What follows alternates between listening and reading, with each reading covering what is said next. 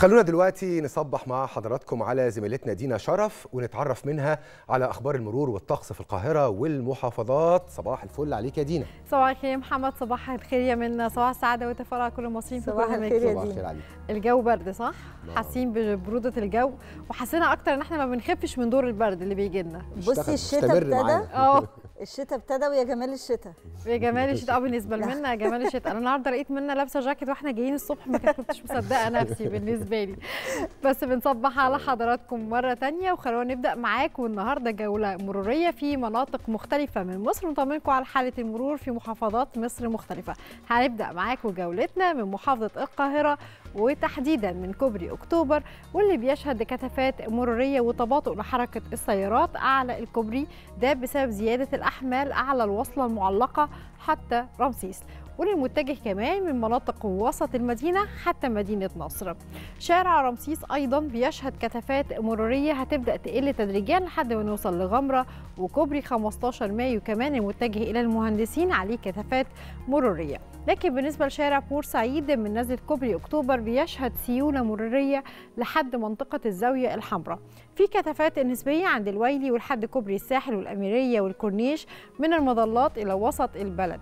في كمان كثافات مرورية بسيطة ومتقطعة أما كمان المتجه إلى المؤسسة ففي سيولة مرورية ما عدا بعض الكثافات عند المظلات.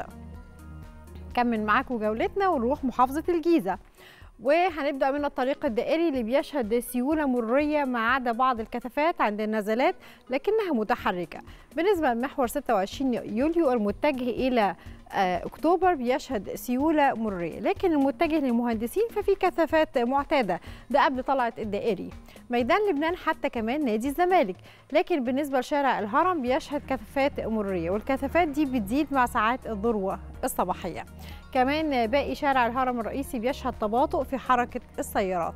في كثافات للمتجه إلى كوبري الجيزة المعدني. وفي كثافات تانية بتظهر في شارع السودان حتى جامعة القاهرة وميدان النهضة لحد ما نوصل لمناطق بولاق ومبابة.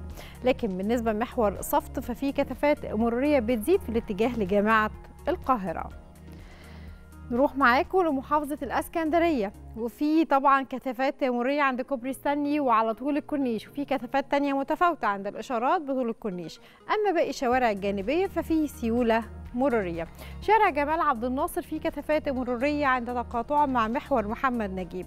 نفس الأمر في شارع عبد السلام عارف اللي بيشهد كثافات مرورية لكنها متحركة. ونروح معاكم لمحافظة أسوان وهنبدأ من شارع السادات لحد ما نوصل لمنطقة المسلة اللي بيشهد سيولة مرورية. على طول الشارع هنلاحظ إن في كثافات مرورية بسيطة لحد ما نوصل لمنطقة أو لمحطة القطار اللي بيشهد الطريق حواليها كثافات مرورية. كمان أيضا في كثافات مرورية في شارع الحدادين وشارع الإمام الشافعي والطريق المؤدي إلى مستشفى أسوان الجامعي في بعض الكثافات المرورية. ومن جولتنا في شوارع ومحافظات مصر المختلفة اطمئنانا عن حالة المرور. تعالوا نطمن معاكم عن حالة الطقس النهاردة وجولة سريعة عن أحوال الطقس. النهاردة هيكون الطقس مائل للبرودة نهارا على القاهرة الكبرى والوجه البحري والسواحل الشمالية. في فرص أمطار متوسطة إلى غزيرة على مناطق من السواحل الشمالية وشمال الوجه البحري. ده على فترات متقطعة.